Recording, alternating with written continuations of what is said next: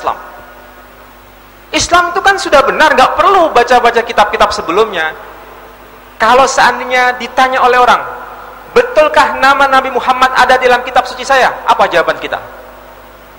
Pasti hanya diam seribu bahasa. Tapi bagi mereka yang sudah membaca kitab-kitab mereka, saya bisa buktikan bahwa nama Nabi saya ada di dalam kitab Anda.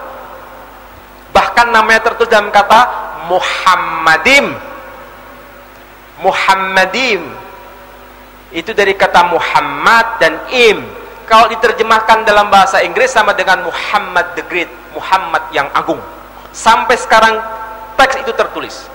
Tapi kalau nggak mengetahui kitab suci sebelumnya ya pokoknya Quran menyebutkan nama Nabi saya. Iya kan kitabmu bukan kitab mereka.